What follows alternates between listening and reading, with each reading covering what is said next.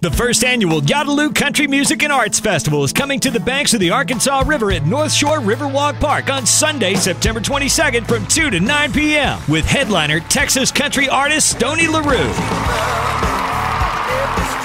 And supporting acts Jason Boland of the Stragglers, William Clark Green, along with other Arkansas regional acts. Food, beer, vendors, games, arts, and crafts, and a portion of the proceeds going to benefit Habitat for Humanity of Central Arkansas. Get tickets now at yadaloo.com.